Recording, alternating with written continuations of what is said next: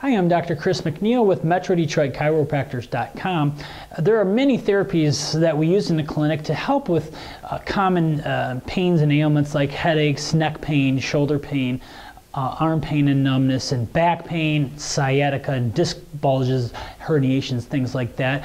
Uh, one of the therapies that can be used in our clinics is electrical stimulation. Um, the electrical stimulation uh, and or a TENS unit can help the muscles relax, can help uh, fight pain, can help strengthen muscles also. Um, maybe just what you need. Uh, give us a call, 586-566-2273 or visit MetroDetroitChiropractors.com.